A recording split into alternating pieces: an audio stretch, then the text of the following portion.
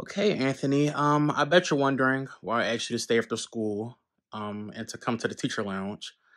But uh, Yes, I am, Mrs. Solly. yeah, uh, I called you here because Anthony, you're you're just not doing that good in my class. Um, your current grade in the class right now is a D minus. Okay, a D minus. So, do I have a good D or a bad, bad D? Bad. It's bad, Anthony. There's there's there's no good D. Okay, I want you to do better. So um, just come here. Uh, we can try to uh What? come Where? here.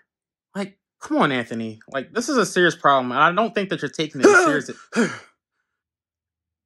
What was that? I did it. What? Like, wh-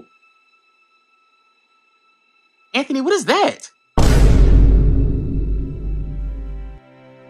I did it. Did what? I told you to come. Do I have a D plus now? Oh my God. I know you did not do what I think.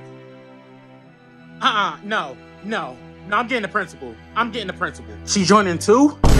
Joining in on what? What is your problem?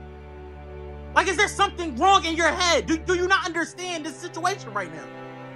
Do you not know how to have normal human interactions? What did you think this was? No, I'm sorry. No, no, you're getting expelled. No, I, I'm I'm getting the principal on this. This this. Oh, to throw up. Oh my gosh, it's still it's still. Oh, I can't. No. What the hell?